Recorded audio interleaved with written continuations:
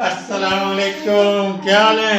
ठीक। है और सुनाए क्या हाल चाल है? ठीक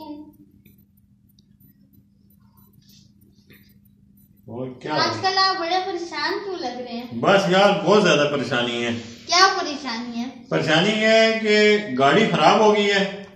गाड़ी दी है डेंटर को।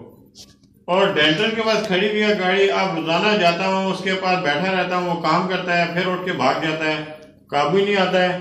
अब किसी दिन छुट्टी कर जाता है और किसी दिन आता ही नहीं है कि मैं बीमार हूँ तो मैं आ नहीं रहा हूँ। अब मुझे इस्लामाबाद जाना होता है रोज़ाना। जब मैं इस्लामाबाद जाता हूँ तो तीन से चार हज़ार रोज़ाना मेरे टैक्सी का किराया शराया लग जाता है। अब मैं बहुत परेशान हूँ कि ये डेंटल भी काबू नहीं आ रहा है, मेरा रोज़ाना तीन चार हज़ार खर्चा है। लेकिन इसको अभी मैं अगला रास्ता दिखाऊँगा। अभी मैंने इसको अगला रास्ता दिखाया नहीं है। वो आप कैसे दिखाएँगे? वो ऐसे दिखाऊँगा कि उसको पता नहीं है कि मैं वकील हूँ एडवोकेट हूँ मैं। क्यों? आपने भी की हुई है वकालत हुई है। वकालत पढ़ना कौन सा मुश्किल काम है यार पाकिस्तान में?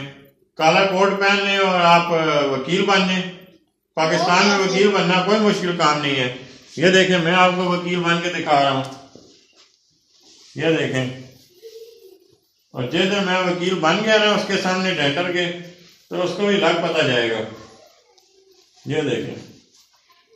ये अब मैं वकील बन गया हूँ। वकील लग रहा हूँ ना मैं? क्यों दोस्तों?